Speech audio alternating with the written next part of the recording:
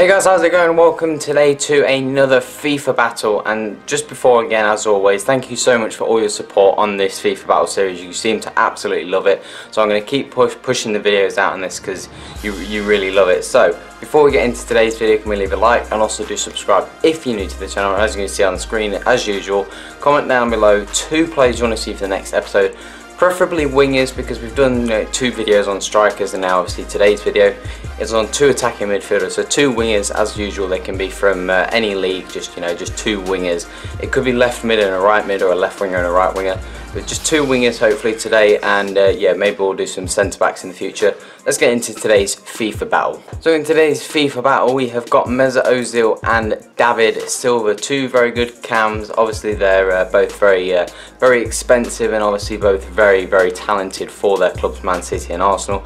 Both two good cams so this should be a pretty intense FIFA battle. But let's go ahead and look at uh, Mesut Ozil's in-game stats so as we can see with Mesut Ozil, he has got 92 vision, he's also got 87 reactions, 90 ball control, 86 dribbling, 87 short passing. He's also got 4 soft skill moves and has obviously got the playmaker, technical dribbler trait, the most important traits, and obviously dribbler and playmaker in the specialities.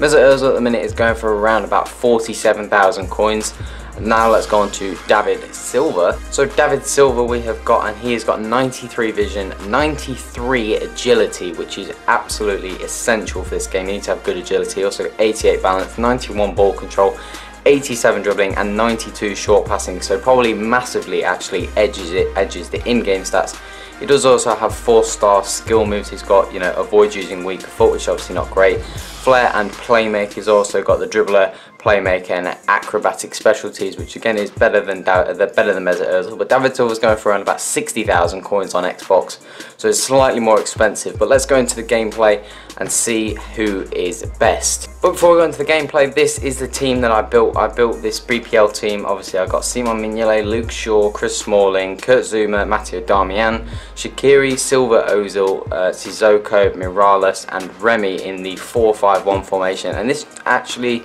turned out to be a pretty bad decision of formation as you'll see in the video and it does kind of ruin it but let's go into the FIFA battle and see how these two performed in this formation. So into the gameplay we go with David Silva on a corner. We do go for the triple tap onto the man that's open with Kevin Morales to finish it off. So David Silva starts off pretty strong there with an assist but as I mentioned just before we came into the video, the formation was a big, big problem and it turned out to be a big mistake. Now obviously the way we do this series is we pick two players and we try and put them into the same team, you know, so they're both playing at the same time. We go and play 10 games and you know, we, we see who's best in those 10 games. Obviously with it being the same team, so it's a fair reading. So I wouldn't want to go and put Ozil in a non-rare team and then put David Silva in a full gold BPL team. It wouldn't be wouldn't be fair. Silva would perform much better.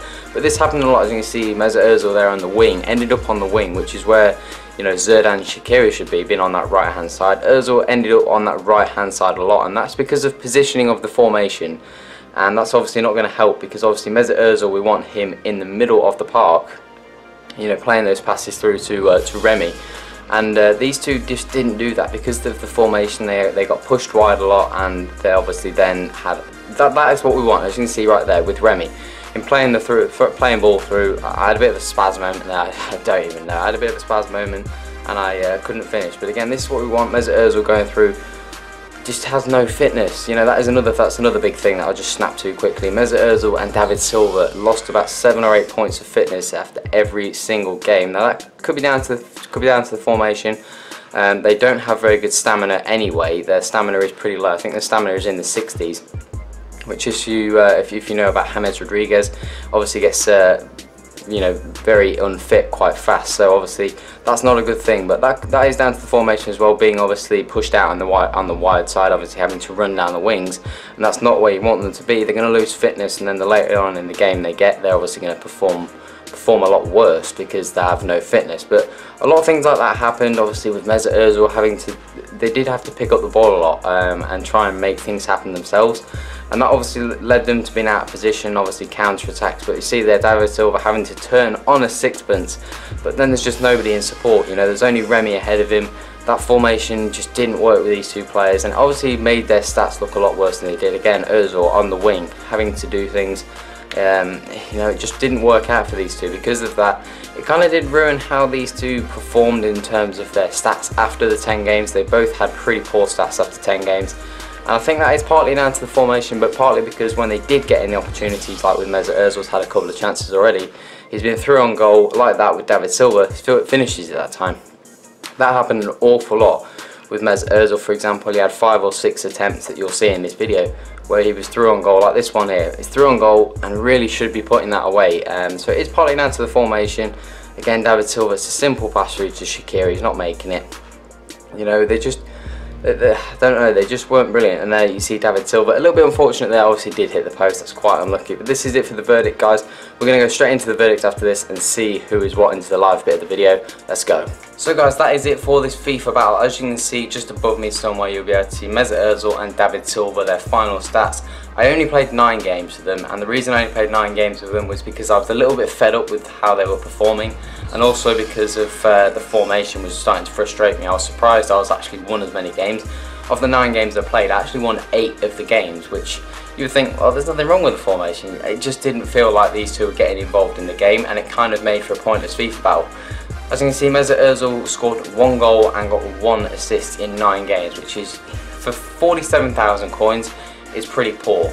Um, I did though give him a 4 out of 10 rating which doesn't sound like a lot but for one, one goal and one assist he should be getting like a 1 rating but I actually did quite like Ozil but obviously I have to rate them on how they performed um, and Ozil would be a very good player to have in a one cam formation. If you were playing 4-1-2-1-2 or 4-3-3 and you had a cam, definitely use someone like Mesut Ozil or David Silva because in a one cam formation they're not going to get dragged out, they're not going to you know lose fitness easy David Silva did manage to get four goals and one assist, but I didn't feel David Silva was as good as Mesut Ozil, but because of his performance, he is today's winner of this FIFA battle. It was kind of disappointing because the formation wasn't the best choice, so that's why cams are a little bit tricky. Maybe in the future I will do cams, but not put them in the same team. Just use the same team and just use them in 10 separate games. But that's it for today's FIFA bot, guys.